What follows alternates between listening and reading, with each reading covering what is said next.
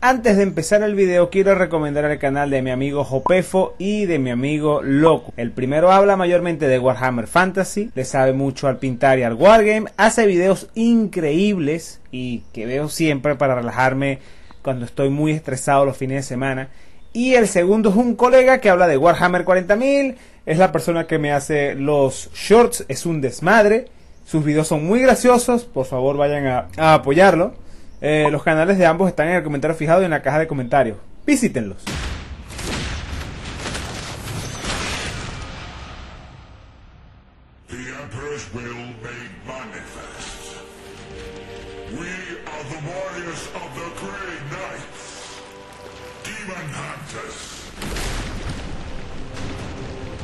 Chaos cannot stand against us.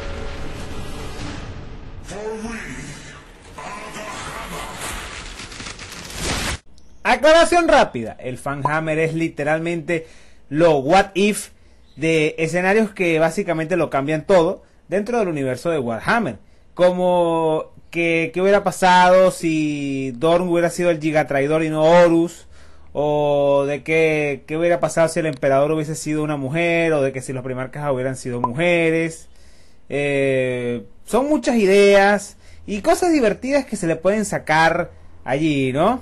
Entre ellas hay una variante del Imperio del Hombre y son las grotoritas eh, del artista Joy Duncan, un artista al que llamar, al que vamos a llamar eslavo porque no tengo ni puta idea del idioma del diablo que estás viendo en pantalla.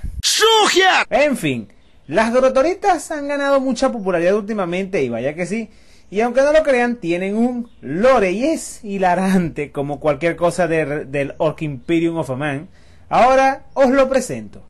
Las grotoritas nacen en Finemundi 5, un planeta monástico de dominio de orcos imperiales, eh, por lo menos unos 8 años terranos más o menos. Por lo general, en los salvajes rincones del planeta hay algunos orcos y las pequeñas grotas suelen servir a uno de estos, realizando servicios a cambios de protección.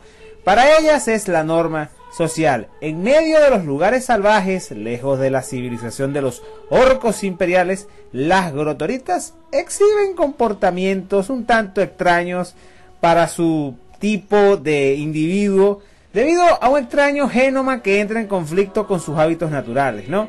Esto debido a que un trauma les obliga a apelar a su memoria genética, más precisamente a lo religioso, lo cual les hace crecer el cabello de color blanco y, hacer repetidas figuras de águila con las manos. Eso demuestra una obvia relación entre devoción y fe hacia el emperador y hacia el Omnisaya.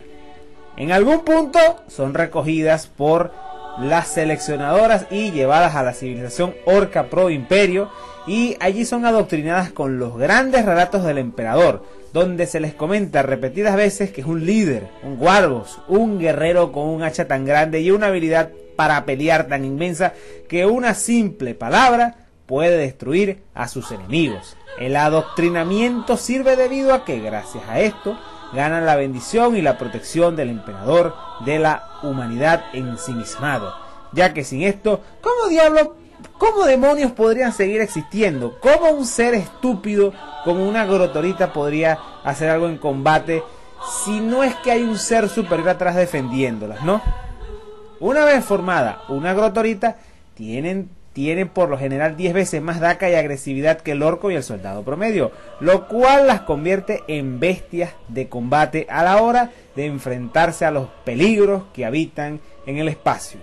El armamento promedio de una adepta grotorita es el mismo que el de cualquier orco leal. Armadura, una buena pistola que dispare, obviamente, y algo con bastante fuerza como para cortar a sus enemigos lo suficientemente bien. Aparte de la militante común, existen variantes, como las fuerzas de shock estompas, que usan poderosos e inestables cohetes para aplastar a sus oponentes desde el cielo o explotar, todo depende. También existen las hospitalarias, que aunque la salud biológica de un piel verde no necesita realmente una cura o un médico o tratamiento, estas van a las grotoritas que escapan y les inyectan estimulantes, estimulantes, drogas estimulantes por atrás. Por lo general, esto hace que vuelvan a la batalla y Por algún motivo extraño, las grotoritas le tienen miedo a las agujas, aun cuando, como dije, son tienen una resistencia enorme al dolor. Oh, y no se me olvide, las poderosas Spidrificus, que son adictas a la velocidad y a las motos. Se rumorea que incluso pueden ir 23 en un solo vehículo. Además de que tienden a tunear sus, sus transportadores de batalla con grandes motores y grandes armas. Por algún motivo esto funciona, no pregunten. Esto es el, esto es el of Aman, solamente funciona. Las grotoritas no son el vivo ejemplo de disciplina y obediencia, como todo buen piel verde, así que existen variantes de las hermanas Repentia, a las cuales por algún motivo les gusta sentir el dolor. No puedo desarrollar más el tema porque el inquisidor que me dio este material lo censuró. Eh, tiene muchos tachones negros y es como que no me quiero poner en, en contacto con mi inquisidor más cercano, ¿no? También existe una variante no combativa, la banda de las famulatas, las cuales son horriblemente groseras, posesivas, y créanme que cuando tú vas a negociar o hacer algo, llevar armas no ayuda del todo. Además de que siempre rompen todo lo que se supone que deberían negociar, aunque por medios tienden a reparar las cosas que rompen. Información bloqueada por la Inquisición. Ahora, una pregunta. La pregunta del millón de lochas, del, del millón de créditos imperiales. ¿Qué tan efectivas son estas criaturitas en verdad en batalla? Pues lo cierto es que las grotoritas son un aspecto vital para el imperio. O eso creo, no lo sé. Pero siempre y cuando crean en el emperador, maten herejes, mutantes y vayan a pelear por lo que sea, por lo que, que las está defendiendo, siempre serán un arma vital para el imperio y una de las primeras líneas de defensa contra las pesadillas que nos esperan en la disformidad. A lo mejor, no lo sé. Y supongo que hasta aquí, ¿no? Eh, realmente diré que amo el fandom. O sea, siempre se puede salir con algo nuevo y créanme que pagaría por una camiseta de estas hermosas Gretchins. Pagaría, pagaría dinero real, dinero money. Legan tiene money, Legan ya no es humilde. Desde que Legan tiene 6.600 suscriptores, Legan dejó de ser humilde. Eh, Game Workshop, por favor, haz la cano. O haz una referencia a esto. Pagaría por eso. Ahora, agradezco a los que están aquí. No olviden compartir el video, comentar y darle like.